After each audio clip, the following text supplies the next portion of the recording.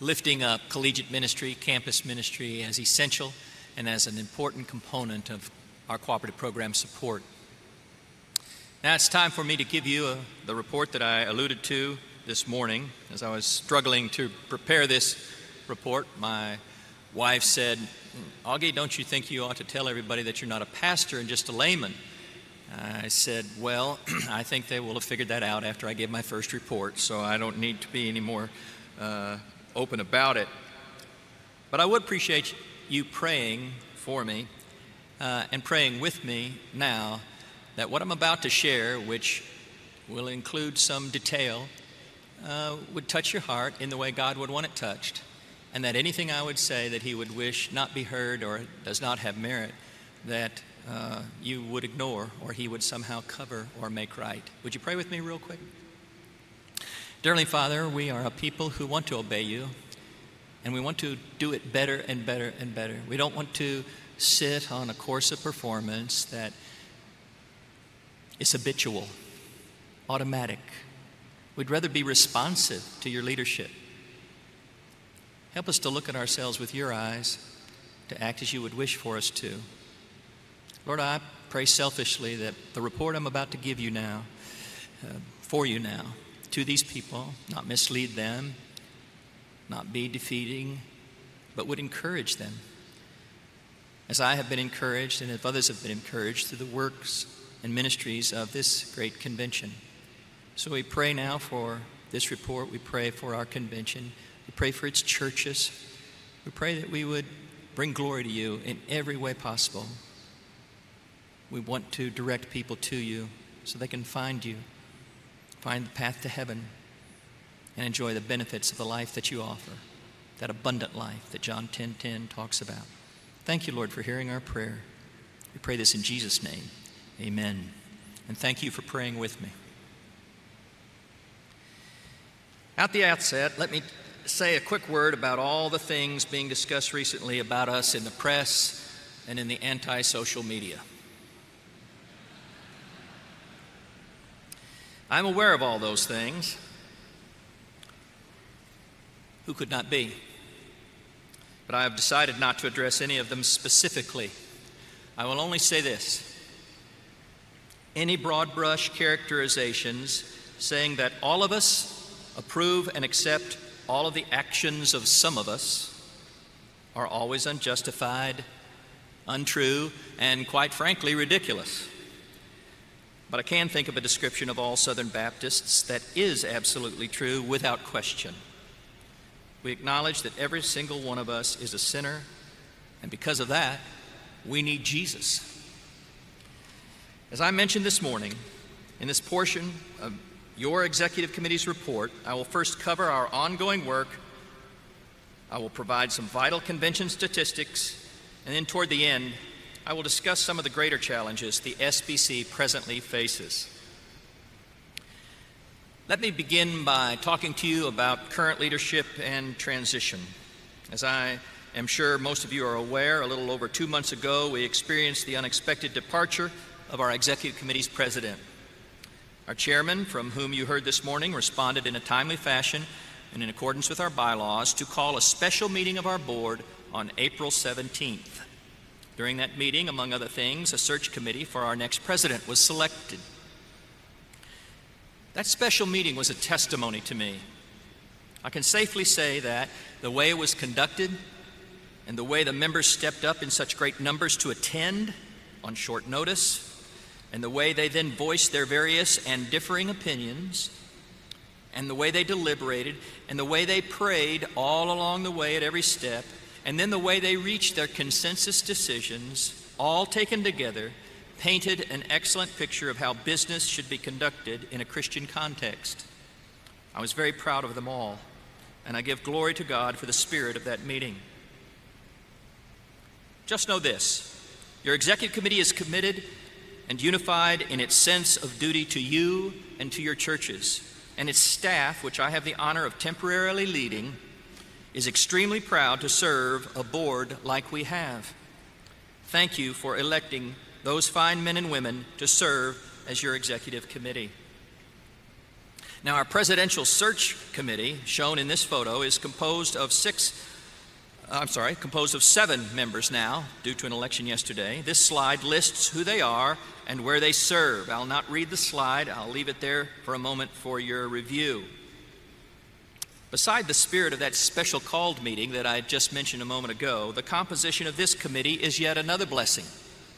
Its members were nominated from the floor and chosen by a vote of the entire executive committee, thus indicating that they all have individually distinguished themselves and earned the trust needed to perform the important task of presidential recommendation.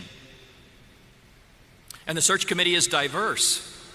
It contains both genders, it has a healthy ethnic component, and it includes two nationalities American and Texan.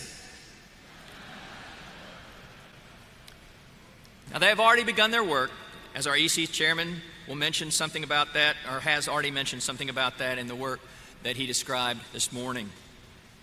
From an operational standpoint, I can report to you that our work is continuing in a normal manner.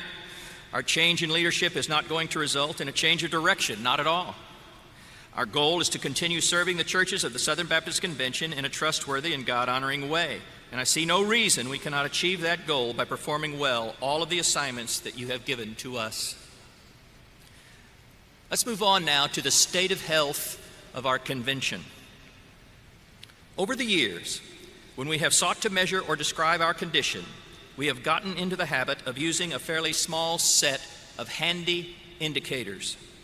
Those indicators have been cooperative program contribution totals and percentages, the number of Southern Baptists, the number of Southern Baptist churches, the number of baptisms in the most recent year, the number of missionaries we have on foreign fields, the combined graduate count of our seminaries.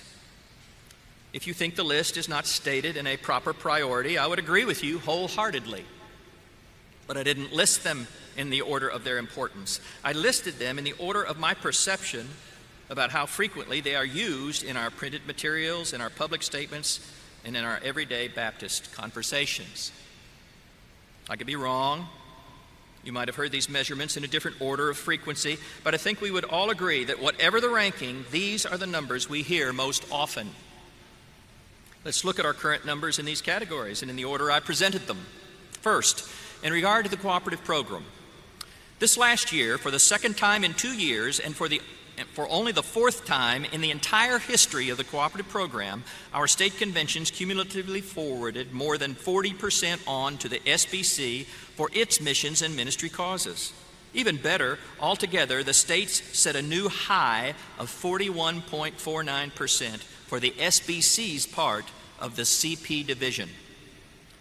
I will discuss some additional ramifications of those state convention decisions in a minute, but let's look at what they added up to. Last year, we received and distributed to our entities. Lost my place. Last year, we, just, we received and delivered to our SBC entities um, more than 40 percent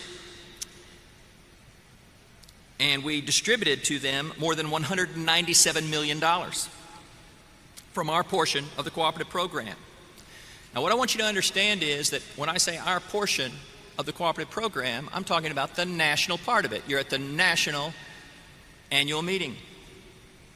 If you study pages 5 and 6 in your book of reports, you will see that not only is that amount more than we received the previous year, but it is more than we have received in the most recent six years. And that's as far back as that report feature goes, always, six years back. Two weeks ago, Lifeway released the numbers from our most recent annual church profile report from the churches. The number of Southern Baptists is still very high and significant, it's just over 15 million. The number of cooperating churches seems large and healthy, more than 47,500.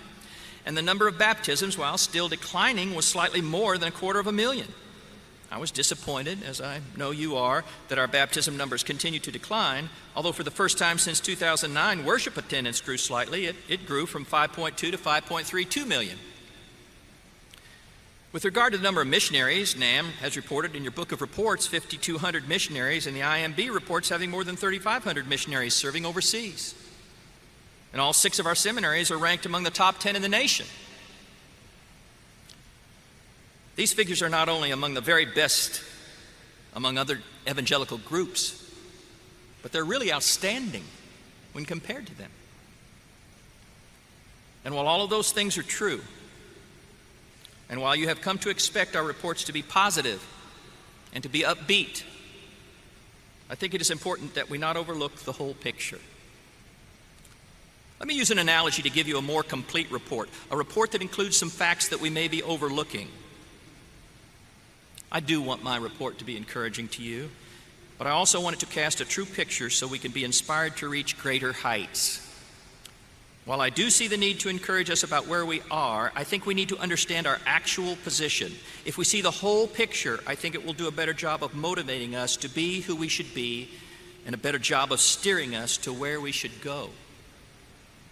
This morning, I referred to the SBC as a very large ship, one that is certainly seaworthy, and one that has all the amenities its passengers might wish for.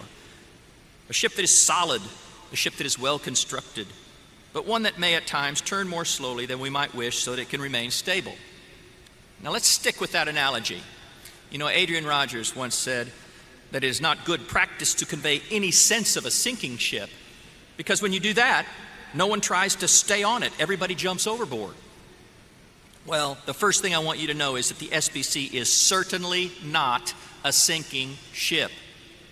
It may be a ship that is showing signs of age, it may even need some repair, but the need for maintenance is a normal thing. And all in all, down through the years, our ship has been maintained fairly well. But some have wondered whether our ship might be adrift. It appears to lack the power needed to forge through larger waves or proceed through seasonal storms. And if it cannot do those things, it cannot reach its destination. It needs the power of God. If we really look at all of our vital statistics, they tell us that we may have been concentrating on what or where the ship is rather than where it should be going and what it should be doing. Let me first justify my statement about our ship's maintenance, and then I will discuss what I believe to be the cause of our loss of propulsion. I think it could be said that our ship may be showing age, but it is still in seaworthy shape. As for total CP, state and national, we still receive from our churches about a billion dollars every 26 to 28 months to support our state and national missions and ministries. Yes, I said a billion. We are still the largest evangelical body in America, numbering over 15 million congregants. We still serve more than 47,000 churches that meet every Sunday and that faithfully preach sound doctrine. We still are deploying the largest fully funded evangelical mission force to tell the world about Jesus. The ship has an excellent compass and rudder. The Bible and our statement of faith, the Baptist faith and message. Its decks are sound. What are those decks? Well, the decks include local churches, associations, state conventions, and the National Convention. Each deck has plenty of quarters in which may be found all sorts of fellowships and subgroups ethnic, age bracketed, interest oriented, you name it. The ship has a good array of services and programs to enlist, equip, and deploy people on mission. Its communications are in good shape. SBC Net, Baptist Press, SBC Life, state papers, and a vast array of blogs, podcasts, and other social media platforms devoted to things of interest to Southern Baptists. Its various crew members and bridge officers are all capable and they are all undertaking their appointed tasks. And its amenities, my, how they shine. Everything we need is on board, everything is available, everything. Our problem in the SBC has never been a lack of worthy resources. We have so many that it may be difficult to quickly find the particular one we're looking for at that moment, but a lack of tools and helps is not our problem. Our ship, our great ship, with all of these good attributes seems to be adrift. While the marvelous work of many on board is admirable, and I mean that, their efforts alone are not enough for the ship as a whole to pass muster. Could it be that we are not underway because we are not under power? Maybe we have thought everything was good because we have been looking at the wrong gauges on the bridge of the ship. Or maybe we have been misinterpreting the readings of those gauges. Maybe we have come to understand something even bigger or to misunderstand something even bigger. Maybe we have forgotten who we are and what we should be doing. Maybe we have gotten used to the pleasures of being a passenger. Maybe we have come to think that we are on this kind of ship a ship with all those amenities I mentioned a bit ago, a ship that has everything we need, a ship that serves us well, a ship that is comfortable and safe and work and worry free. When actually, we once understood that our ship was more like this. A ship designed for hard work, a ship with no tourists and only a well trained crew, a ship equipped not for pleasure but for productivity, a ship that has everything others need and desperately need. Did you read the papers a couple of days ago about the increasing rate of suicide in our nation? People are lost, they're dying, they have no hope, and they need the gospel message. Our office, where your executive committee staff works in Nashville, is assigned the task of cooperative program promotion. Now, as for the gauges on those ships, on that ship that I described, as for the gauges on the bridge of that ship, I think we actually have been misreading those gauges. Perhaps we not, have not been reading all of those gauges. I want us to look again, and we want to start with the cooperative program gauge. In doing that work with the cooperative program that I described a minute ago that our office undertakes, we regularly report what we receive. And as I said earlier, our receipts have been improving. And what we receive does not tell the whole story of the cooperative program. We cannot forget that missions and ministries at the state level depend on the cooperative program too. If you will excuse the analogy abuse, we cannot really assess the health of the whole ship without looking at state work, or we will miss the boat. So let's look at the whole picture. This first chart in the bottom graph indicates what our office, the national office, the SBC office, received through the cooperative program from 2000 to about 2008, just before the economic downturn. Above that, you can see a graph of the total amount received through the cooperative program, state and national combined, everything. As you can see, the graphs appear to be in direct relationship with both of them ascending. Now let's bring those graphs up to date to include the last 10 years. As you can see in the bottom graph line, what we at the national level received took a dip at first, but then it recovered quite nicely. What you can also see by looking at the top graph line is that our total cooperative program giving has continued to decline. Let's look at another gauge to assess what is going on with cooperative program giving. This chart includes the ACP figures that have just been released. It shows the average CP percentage given by the local churches has declined at an alarming rate from about 5.5% in 2013 to the 4.86% just reported. But it also shows the gauge that we've had a habit of focusing on the gauge that shows the percentage the SBC receives from the states. And it shows that that gauge has been improving markedly and misleadingly. How could this be? The actual numbers show how it could be. So look at this spreadsheet. I know you cannot see all of those numbers right now. We're going to come back to it in a minute. What this chart shows is that at the national level, our ministries were the beneficiaries of voluntary ministry sacrifices made by the states.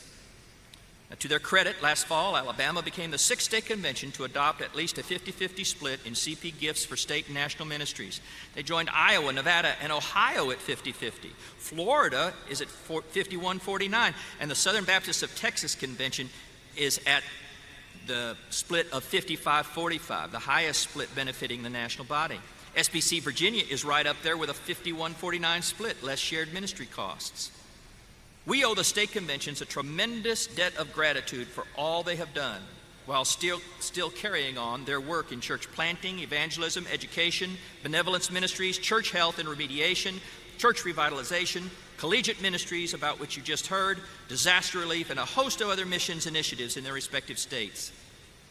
We should certainly applaud and otherwise greatly honor the voluntary sacrifice of the state conventions. But our more complete understanding of the CP gauge now brings us to the realization that in the last 18 years, though our national ministry receipts have improved by just over $17 million, our state ministry support has shrunk by over 41 million. And the cooperative program, how has it fared? Our total cooperative program receipts have declined by $13.5 million. What should we take away from all this? I believe we can take away that Southern Baptists are a sacrificial people, that we are willing to try to do more with less. But I also think we need to understand that while national ministries are being well funded, state ministries are not. And our total CP giving is not doing well at all. As I've been discussing with you how to read and better understand what I have called the CP gauge, I have said a whole lot about the state conventions and their plight. Why would I report anything about the trials of other smaller conventions? Well, because, ladies and gentlemen, they are us. Their ministries are our ministries. A friend of mine, who is the executive director of the Oklahoma Convention, Hance Dilbeck, said it best. He said the states send more than their money, they send their prayers and their people. And that's always been true, always. The cooperative program is not a big deal because it only supports big national entities like our mission boards and our seminaries and the others I referred to this morning. It is a big deal because it plays such a large part in all Southern Baptist ministry across the board, both state and national. Our domestic base must be supported, and much of that work is done most effectively at the state level. Dr. Ezell cannot lead NAMB to do all church planting by itself. College campuses must have a strong evangelical presence. The vital works of children's homes and elder residences must be sustained. Church revitalization must occur. And the most important work, the most important work, evangelism, it must. It must be abundantly provided for. And we all know that evangelism begins at the local level and is best resourced through statewide assistance and strategies. While you absorb all that, I want to voice how it came to be that we use the cooperative program as a primary metric. There's a really good reason we fell into that habit. It is because we Southern Baptists have never thought of it as money. We have always thought of the cooperative program as conversions. I love that about us. That is why I'm a Southern Baptist. We believe the Bible, and that means that we believe in a real heaven, a real hell, and a real Savior. We are always willing to spend our money on missions and ministries as long as those missions and ministries contain a backbone of evangelism and soul winning. For us, dollars spent must result, and they will result, in evangelism and baptisms. And that is why we cite CP and the other simple metrics that we do.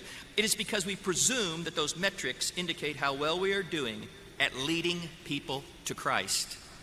So let's look at those simple metrics again. What about the number of Southern Baptists? Are we reaching new highs there? What about the number of churches? What about the number of missionaries at home and abroad? What about our baptism count? What about our seminary output? I think you know the answer to all of those questions. With precious few exceptions, those metrics have either plateaued or declined. Now, our good ship our very large, structurally stable, and well equipped, and yes, comfortable ship seems to be adrift. Why is that? It's because we have no power. And why is that? Well, it is not because we have not rolled out year after year a new program or produced another task force. Those things have their place, but they are accessories, not essentials. It is not because our doctrine, our talent, our leadership, or any other aspect of the maintenance of our ship is grossly deficient. Maintenance is important, and there are errors and failures to be repaired along the way, but maintenance is not an end in itself. And it is not because we have no engine. The Holy Spirit is within us, He's alive, He's ready to work in us and through us, but we are somehow quenching His power. And we are commanded in Scripture not to do that. We have quenched the fire of the indwelling Holy Spirit. We need ignition to obtain power. And we can turn that ignition switch on through repentance and obedience, mine and yours. Through obedience, we can release the power of God in and through us. We desperately need His power. We really have none of our own. Examine this passage with, with me. Look at verse 30, right there in the middle. You see that big bold verse? Look at the subject matter that that middle comment is nested within. Isn't this passage pointing directly at one way, just one way, that we may be presently grieving, quenching the Holy Spirit? If you think so, like I do, you will agree with me that we need to repent from doing these things. We, each one, one by one, need to do our part. I have always been one of those Southern Baptist laymen who have had faith in God, faith in the organization, faith in the leadership, faith in the cooperative program. Still do. I've always loved the Southern Baptist Convention being the best. I still think it is. But I must admit to myself that often what I was admiring was what others were doing. Well, I just looked on as a tourist on a cruise enjoying the scenery. So, fellow lay people, I want to say something on behalf of your pastor. I want to say something on behalf of your church staff. They cannot be the church all by themselves. They cannot do all the witnessing. They cannot do all the discipling. They cannot do all of the ministry. I do not see anywhere in Scripture the idea that the New Testament church had to hire more ministers so they could tell more people about Jesus. Lay people, we are the church every bit as much as the staff. Now, isn't it great that God made every one of us a member of the crew on this ship of ours? We are told in Philippians 2:13 that he lives in us and he works through us. Passages in Romans 12 and 1 Corinthians 12 teach us that it is all of us working together and each one of us doing our individual part. Only by being obedient to our individual calling can we get started, which will then allow God's power to work in and through all of us as a unit, trained, ready, each one at his or her assigned task on board the ship. Now, if we are willing to do that, if we are willing to each one be obedient, or even to just take the next step of obedience, only then will the ship's rudder of sound doctrine steer us correctly to the destination God desires. Only then will the Holy Spirit, unquenched, provide us with maximum propulsion. Only then will we see what God's power will produce. Now, if any of this analogy seems a worthy way of looking at our convention, I can think of two things in the area of obedience that we need to start with to bring our ship back under full power. Two very important things we used to do better, and two very simple things. We can witness and we can tithe. Our theme for this meeting is all about the first thing testifying. If each Southern Baptist won just one person to the Lord this year, just one, next year our baptism count would certainly set a record, but more importantly, over 15 million people would not suffer hell. I will talk more about witnessing in a minute because I want to end on that most important thing telling others about Jesus at every opportunity. As for tithing, yes, I said it was simple. I didn't mean that it might not put some of us under an economic strain. What I meant was merely that it is simple to know what to do and to determine if we are doing it. All it takes is for each of us to move the decimal point in our salary figure one place to the left. Now, we're in Texas. Texans talk plainly. So let's talk Texan. Tithing means tenth. If we're not bringing a tenth of our income to the church storehouse in obedience to God, we are not tithing, period. In the way I read Scripture, tithing appears to be only a starting point, not a compliance maximum. In Luke 21, Jesus commended a woman who gave 100%. And three chapters earlier, he refused to commend a man who claimed to always give 10%. So the right figure has to be somewhere in the middle. Maybe because I'm a layman, I don't understand all I should about Scripture. But I have confidence that God will honor my tithing if I am doing it in an honest attempt to better obey Him. Some might think Malachi 3 8 through 12 and Matthew 23 23 don't apply anymore. If they think that, then the Lord can decide between us. I do not mean to be self righteous. My tithing may be a habit, but habits do not make people righteous. being washed in the blood of the Lamb does, a real relationship with Jesus does. Now, I have not forgotten that I'm supposed to be bringing a report to you about the SBC's condition and about its production. So, what does tithing have to do with that? Well, here's how it applies. Multiple studies reveal that if those of us who earn a wage simply tithed and did nothing more, our CP receipts would quintuple. Can you imagine? If we just tithed and did nothing more. And we are commanded to do more. We could afford five times the number of missionaries at home. We could support five times the number of missionaries abroad. Maybe have five times the number of college ministries to reach and strengthen students, perhaps a similar increase in the number of our seminary graduates. By any estimate, we could certainly expect a gigantic increase in all of our present fruit, in all of it. And if it resulted in five times the number of converts, I could live with that, couldn't you? I know they could live with it. They could live with it eternally. And all of that improvement would come from just one simple act of obedience tithing. It would not even involve improving the average percentage our churches give to the cooperative program. Although, if that happened too, it would carry us to even greater heights of effectiveness in ministry. Now, in the last few minutes of our report, I want to make the connection between that other act of obedience I mentioned witnessing, testifying, and our leverage stewardship program. You've already heard Dave Ramsey talk about the leverage program that the executive committee is sponsoring. And I hope you heard that Dave is sponsoring it with us, matching our subsidy dollar for dollar, which we very much appreciate. That program has three components. You've heard about the first two. Dave talked about disrupting the norm. Dr. Gaines has often talked about advancing the gospel. And now, what I want to tell you about is the third component of leverage seizing the moment you know, to wrap my mind around something, I always need to think of it in my own shorthand terms. I think of Dave's part as helping us to get free. If one is going to run a race or do any sort of endeavor, he has to be untethered, he has to be unshackled, he can't be handcuffed. He must be free. If we are going to serve the Lord, be available to Him, we have to be freed up to do that. And if all we can think about and worry over is how we're going to pay the bills or feed and shelter our family or conduct our schedules or craft our waking time, we're not going to be at God's disposal. And neither will our financial resources. Why? Because we won't have any. For those reasons, I think of Dave Ramsey's part, the first part, as the get free part. The part Dr. Gaines always speaks about, that part of advancing the gospel, is the centerpiece of the leverage program. It is the reason we need to be good stewards. If we forget that reason, we run the risk of only becoming good money managers who never testify to others about Jesus.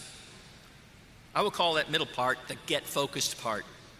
Our object in getting free is not to feather our own nests or heap up worldly wealth. Our goal is to win the world to Christ. We must get focused on God's purpose for our, for our being good stewards. Now, the third part, the part I want to close with, has to do with seizing the moment. One must do all three things to serve well. He must get free to serve, he must get focused, or as one of our pastors has famously said, he must be purpose driven. And finally, he must be ready to instantly respond to opportunities because those opportunities evaporate quickly. I think of this third part as the get going part. What holds us back from telling others about Jesus? Is it fear that we won't have an answer to all their questions? Is it not knowing when or how to start? Is it the lack of preparation or of our having a plan? If we're really honest with ourselves, it may just boil down to a lack of trust. Whatever it is, God has everything handled. He has all the answers we need. He knows when just the right time is to testify. He will give you the words to start. He has the plan.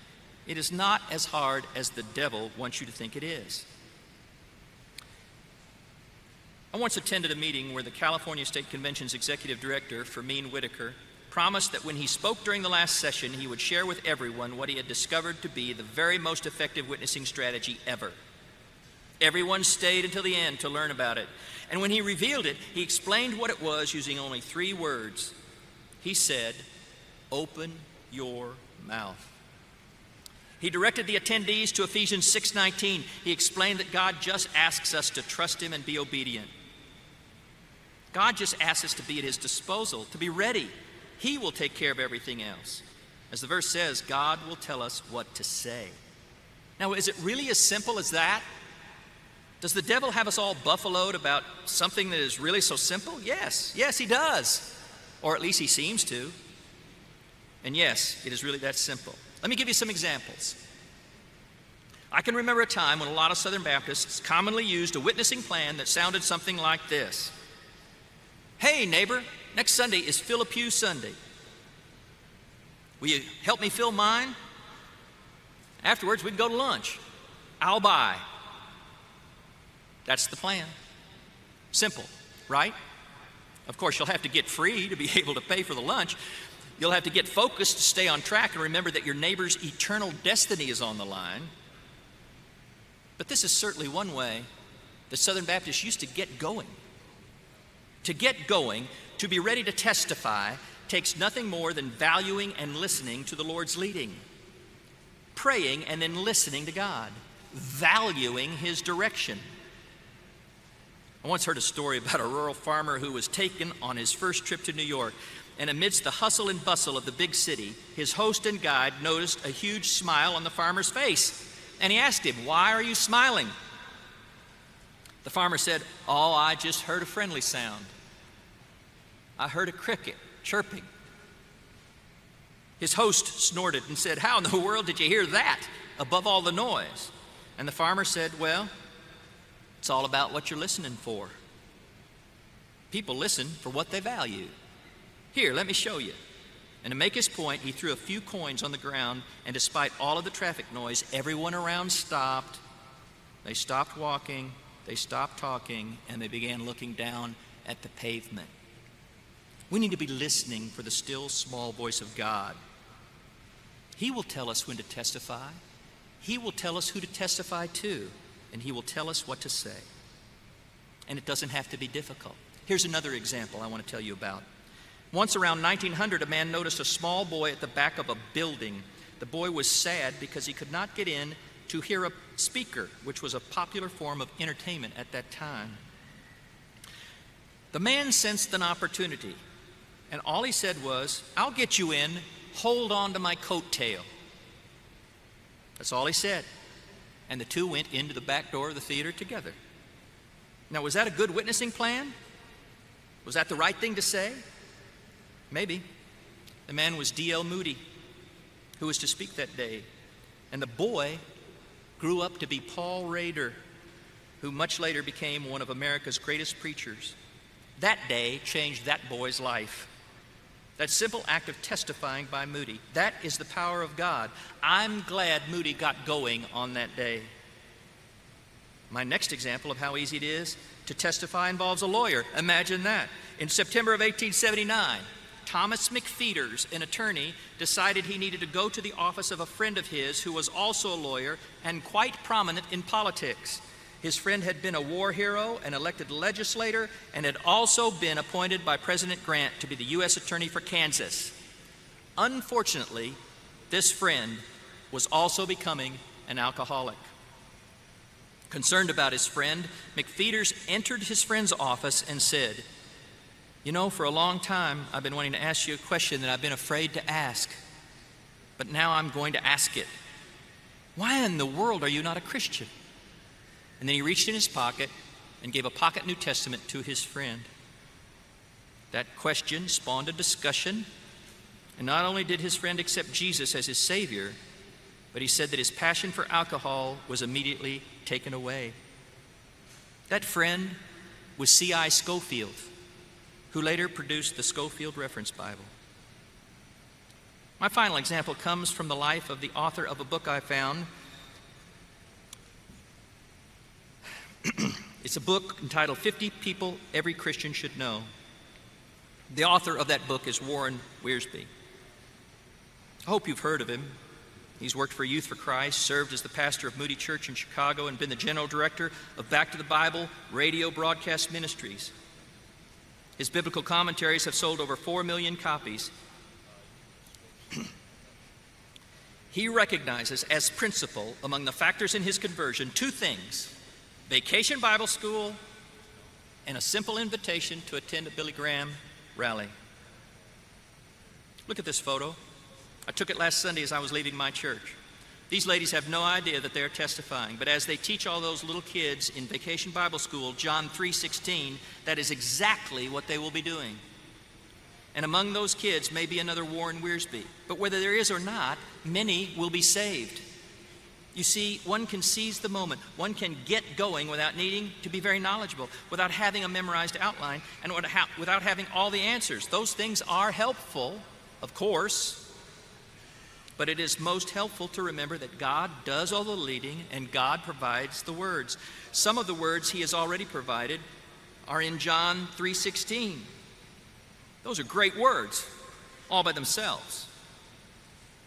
On the day my wife and I landed at Love Field to attend this very meeting, my wife had asked the Lord to show her someone who needed him in their, in their life. And as we tried to find the shuttle stop, an airport employee saw us wandering around cluelessly and asked if he could help us. We told him what we were looking for, and he said, Follow me. On the way, Cindy merely said, Has anyone ever told you about Jesus? He said, No.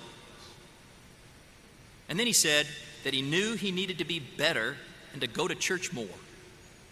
Then she said, Can I tell you what the Bible says about how you can be sure you'll go to heaven? And he stopped dead in his tracks and he said, Yes. Yes, you can. Tell me. It took Cindy just a few moments to explain how he could receive eternal life. He wanted to pray right then in that parking building and, to, and, and do all of that.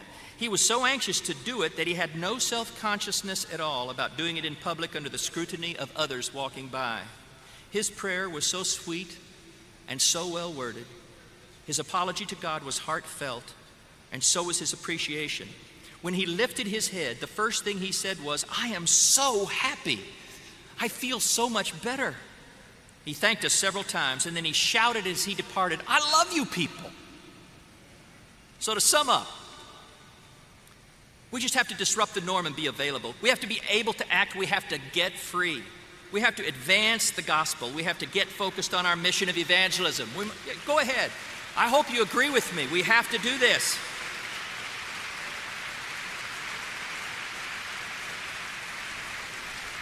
And we have to have an active relationship with the Lord, one that lets Him set the timing, one that listens for His instruction, and one that depends on Him to choose the words. And then we have to do our part. We have to obey Him by seizing the moment, or the opportunity will disappear. We have to get going, we have to testify. Pray with me. Lord, as it says in the Psalms, may we cultivate faithfulness in our land help us as Southern Baptists to open our mouths and boldly share the gospel. Mr. President, that includes the Executive Committee's report about where we are, who we are, and where we should go.